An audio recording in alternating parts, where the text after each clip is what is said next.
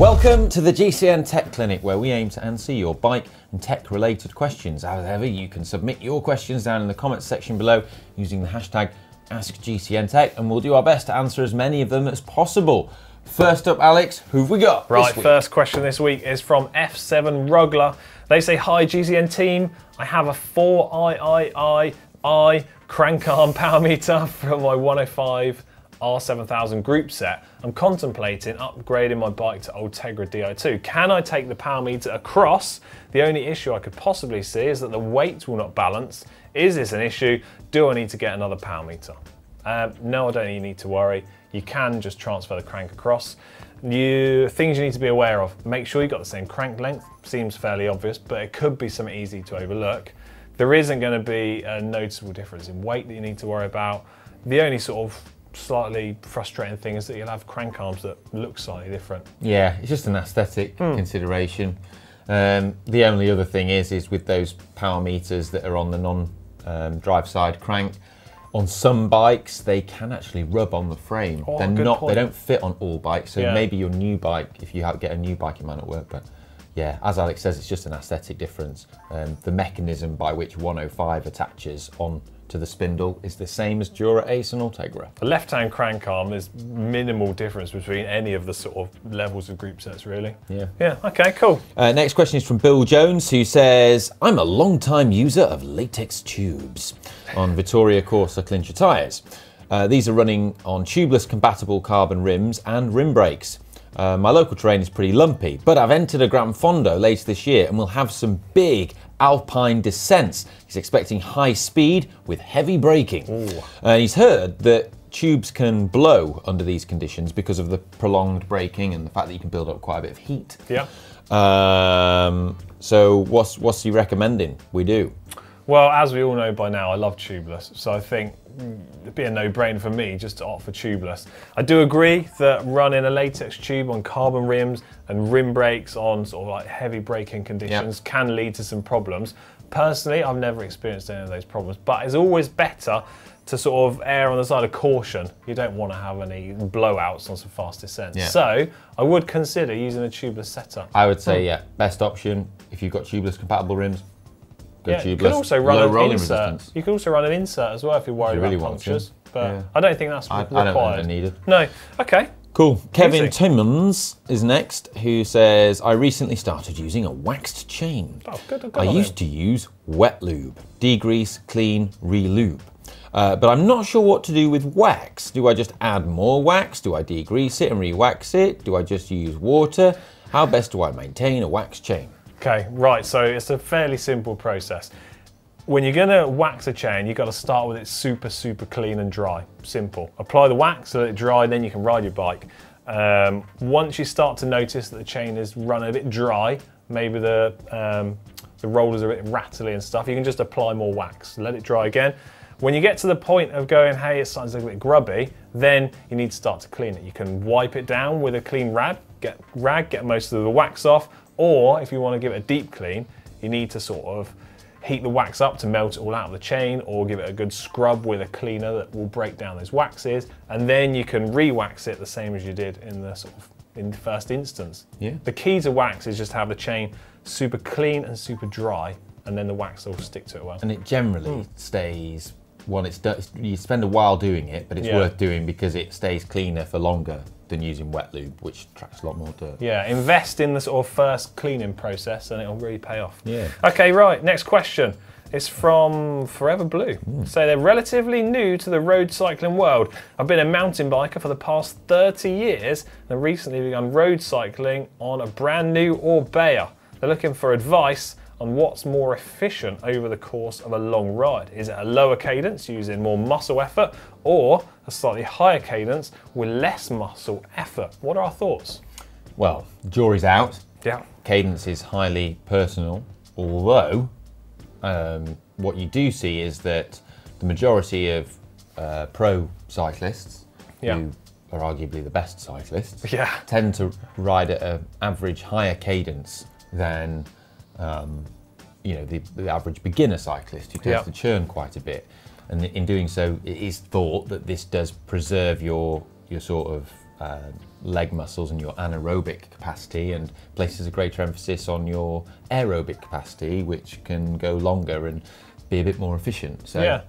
I would say, sort of, to put a sort of number to this, maybe anywhere in the realms of between 80 to 100 RPM is somewhere in what you could count as a normal cadence. Yeah. It's kind of okay to have it self selected. You don't need to force yourself to ride at a set cadence. Anywhere around there, I think you'll be perfectly fine. Much lower than that, it feels like you're going to start to be grinding, grinding away at the bike a little bit more, and maybe not the most efficient. Yeah, and it hmm. changes all the time as well. So sometimes when you're really like tired, if you've had a really big week of cycling, towards the end, I find that my cadence is maybe 10 RPM lower than what it would be when I was fresh. So. Okay, cool. Christian Schneider is next, who says, Hi, Manon, Alex, and Ollie. Not strictly tech, but I'll ask anyway. Instagram seems to have finally classified me as a road cyclist Yeah. and floods uh, my feed with hair removal products for my legs. Amongst many razors, there are these strange grinding blocks, which are advertised as the ultimate solution. Have you tried these? Are they any good? What's the best razor for the job? The full blade version seems to clog up easily.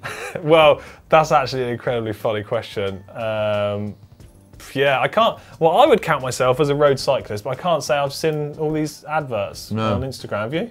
No. Um, I don't know about these grinding. Blocks. We will blocks. now, though, because we've mentioned it and our phones have listened. Their phones are always That's it, listening. we're doomed. Um, I don't know about these grinding blocks. Shave your legs is what I've done for years, ever since I've been a cyclist. Easiest option. Um, just get a women's razor. Tends to be best for shaving your legs. You? Yeah, same. Yeah. All right. There you go. How far up do you stop? Bit of a personal Um, question. Go all the way. All- all the all way, the way to, up, all the way up to there. all the way to here. Right. Next up, we've got a question from Four Kinetic. They say, how much of a beating, i.e., running into potholes or hitting curbs, can a wheel take before it is too much? Well, I mean, how long's a piece of string? Depends on the wheel, depends on how heavy you are, depends on how fast you're traveling, depends on the size of the pothole. yeah. In general, I think wheels are pretty durable now, but heavier riders do struggle more than lighter riders. Yeah. So, I mean, Plus, I mean, have you not seen our video where we were riding into curbs and stuff? Well, yeah, I was. on the Winspace wheels. Yeah, Down I- the stairs of death. I think Stay that true. Yeah, that gives you an example of a level of quality and strength that you can expect from a lot of reputable brands. Hmm. It's all going to vary with different wheels and types of wheels and stuff like that. But they're pretty robust things. But if you hit something in a direction or force it's not intended to, eventually it is going to break. So just be mindful of it, really. Yeah. Yeah. Um, question here from Gabor Vaj- Vajda? Vader. Vader? Yeah? Uh, says, any opinions on mixing tyre compounds? When I started riding bikes regularly, I noticed I wore out rear tyres twice as fast as the front ones. No big deal, I just had to replace the rear tyres twice as often. Uh, after years of doing so, I upgraded to Gatorskins, which are much harder compounds, um, and I figured that I would only use Gatorskins on the rear since I'm prone to punctures more on the rear and there's a shortage of tyres recently. Question Is mixing different tyre compounds on a road bike a good idea or a bad idea? I personally wouldn't do it. I don't think there's any real reason um, or sort of rules that say you can't mix and match different tyres front to rear. But personally, I would always like to know that I've got the same level of performance in terms of grip, rolling resistance, front and rear. Because uh, why would you want less? I know um, Cont- Continental, I don't know if they still make this tyre, but they did used to sell a set of tyres called Attack and Force. Yeah, Do you remember those? They were designed for front and rear. It was a front and rear specific that's pair of um, tyres. that's something that's really come from mountain biking. Very often you have mountain bike. But it never, it had never really took off. No. And now people just buy the same front and rear.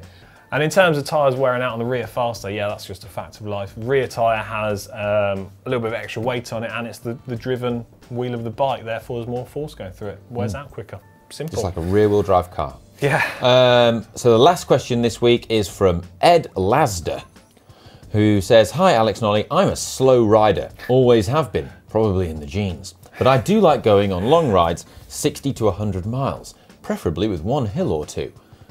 yeah. I'd like to speed up um, and go a couple of miles an hour faster.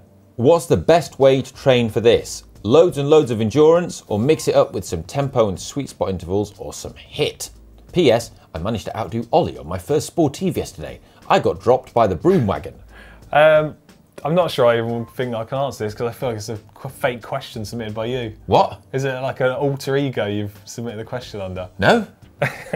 Um, okay, well, jokes It aside, no, joke, jokes aside, if you want to improve your cycling, ride a little bit faster, there are no sort of secrets to this. You need to practice it. So if you want to get better at doing longer rides, practice doing more longer rides. If you want to get better at sprinting, practice doing sprinting. So I think a real mix of training in terms of physical efforts is what's going to help you improve the best.